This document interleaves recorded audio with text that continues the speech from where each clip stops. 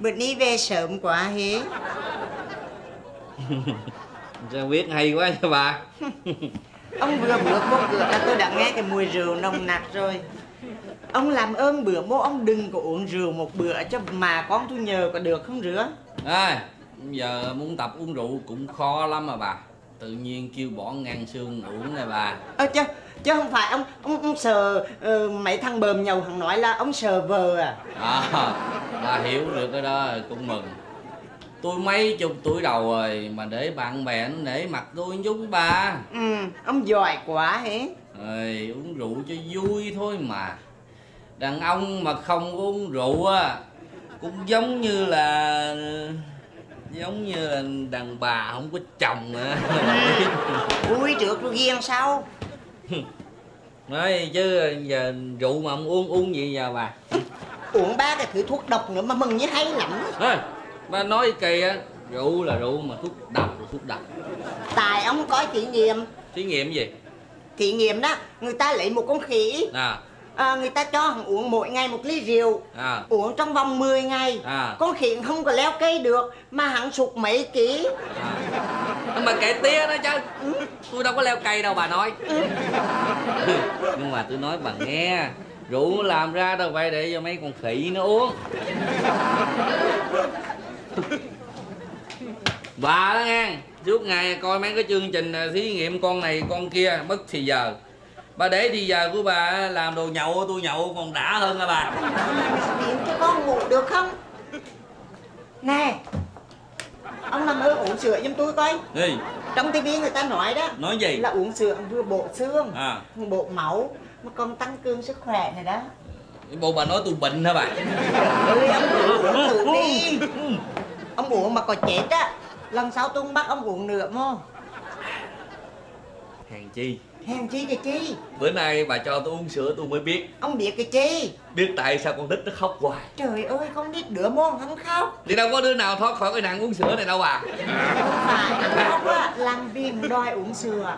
Tại vì ông coi cái chương trình mà hạnh phúc hôn nhân ở trên tivi người ta có cái chương trình dạy nấu ăn hay gần chết bà không? Chịu coi. Đi coi ba cái đồ tầm sàm ba láp đó à.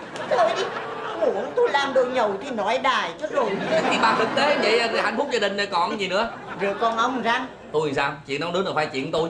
Chỉ chuyện chi của ông? Thì thì cái chuyện của tôi bà đâu cần phải lo tới. Bà lo chuyện nấu nướng của bà đủ rồi. Ông nói như rửa đó cái cái hũ keo mà tôi để trên đầu tủ nữa là cái chi? Cái keo nè. Cái hũ tay heo dầm dầm đó. Rồi. Tôi thương bà ngâm dây thun chứ. Dai hoài. Ông nhớ nha lần sau á là quái dẹt nha. Ăn suốt ngày cứ ăn thì nhầu ăn thì nhầu. Vậy tôi hỏi bà lấy vợ về để làm cái gì? Trời ơi tôi chờ cái cậu như lâu lắm rồi đó. Này về chi nói nghe coi ừ, thì lấy về làm đồ nhậu tôi nhậu chứ làm cái gì? Rồi trước không lấy con mẹ bạn thịt chó đâu đương kia. Một ngày nấu cho tám cực mà nhầu kia. Bây giờ bà nhắc trễ rồi.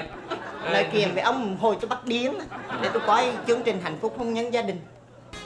Ê, bà tôi nói bà nghe bà bỏ coi chương trình hôm bữa đi bữa nay à, tôi bỏ nhậu gì nữa chừng để nhắc bà coi cái chương trình đài 18 nó dạy. Cái cá hấp cô Minh Trang ngon lắm kìa. Ông bỏ nhầu cái chí tôi nấu hết á. Trời ơi tôi bỏ nhậu mà bà nấu cho tôi làm cái gì nữa? Còn thì ít ra con cái cũng được nên người ông cứ lo nhầu hoài có ngày con càng hư ông không hay vậy Trời ơi bà muốn nhà cửa êm ái bà đừng có nói nhiều nữa. Con muốn cho nó ấm áp mà bà đi nấu ăn đi. Còn con hư là tại mẹ à. Ông để ý bữa, bữa nay tôi coi cái đài 62 kìa. Có cái chương trình mà dạy hôn nhân dạy cái cách vợ chồng đối xử với nhau mừng trắng cái kìa. Trời ơi tôi nói là bà chỉ học cách hấp con cá cho ngon là bà đối xử tốt với tôi rồi. Tôi nhường ông nhiều rồi bữa nay nhất định tôi không nhường mở đài 18 cho tôi đi mà học cá. Nhất định là không nhường. Chương trình nữ công gia chánh xin kính chào quý vị. Hôm nay chúng tôi xin giới thiệu đến quý vị các bà các cô. Một món cá hấp thật là đặc biệt cuốn bánh tráng nhất định các ông các cậu sẽ hài lòng và lai rai cho tới sáng cũng chưa đã đó. Để cùng nhau tiếp tục tìm hiểu về cuộc sống vợ chồng trong thời kỳ trăng mật. Người chồng hết sức cần phải lãng mạn, như là luôn luôn đưa người vợ của mình đi đi mua cá nên vào tận những gian hàng tươi sống mà lựa chọn cẩn thận khi tìm hiểu thêm về người bạn mới cưới thì không có gì hay hơn là dạch mang nó ra coi nếu nó còn đỏ tươi là còn dùng được nếu nó đã thâm lại thì đừng hấp tấp. Đối với người bạn tình chúng ta cần phải khéo léo, tế nhị. Khi đi chung với nhau ở ngoài đường thì chúng ta cần phải có những cử chỉ nhẹ nhàng, âu yếm và khi về đến nhà nhớ là phải Kỳ rửa cho thật sạch Cạo hết lớp nhớt bên ngoài Cắt cổ mổ bụng móc hết ruột gan của nó ra khi có chuyện bất hòa nếu không khéo hạnh phúc lứa đôi sẽ bị đổ vỡ chúng ta cần phải tỏ ra độ lượng thông cảm và phải Bầm cho nát thịt nát mỡ ra Rồi trộn chung với nấm mèo bún tàu Dồn vô bụng con cá Rồi bỏ vô nồi hấp. Sau khi lên giường nên dành thời giờ để tâm sự với nhau để tránh những sự đè nén ở trong lòng và dễ dàng tạo sự thông cảm cho nhau. Chúng ta nên nằm hướng mặt về nhau và âu yếm. Cho đến khi nào thấy hai con mắt của nó lồi ra thì mới xong. Nhớ mở lửa hiu hiu Hấp càng lâu thì càng có hạnh phúc đời sống gia đình cần phải có thật nhiều. Giấy bạc cho tiện Nên lọc xương ra trước vẫn tốt hơn. Ngoài các thứ rau ra Cần nên dùng chuối chát Nhưng phải lựa trái non cho nó khỏi có chất ngọt. Mới có giá trị. Tình yêu chân thật cần phải vượt qua mọi thử thách đắng cay. Thì mắm mới ngon ăn hoài không ngán. Nếu không có ớt sừng trâu Thì dùng ớt hiểm này cũng có thể. Sanh con đẻ cái như thường và đây là niềm hạnh phúc lớn nhất trong cuộc sống hôn nhân mà hai vợ chồng cùng phải Ăn chung nó mới vui. Nay món này mai món khác cho. Con cái đầy nhà cháu chắc đầu cửa thì nữa đến già chúng ta mới biết. Món nào cũng hấp dẫn Nếu làm đúng như trên tivi Ha, học như đó đủ rồi. Không học nữa. À, ấy à, tôi với bà vô à, coi kiếm gì à, nấu ăn nha. Tôi với bà ăn cái bà. Đi bà.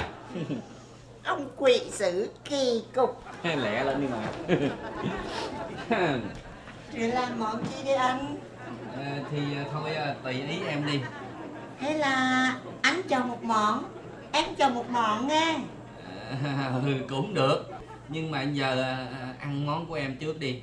Rồi món của anh để tuần tới ăn ha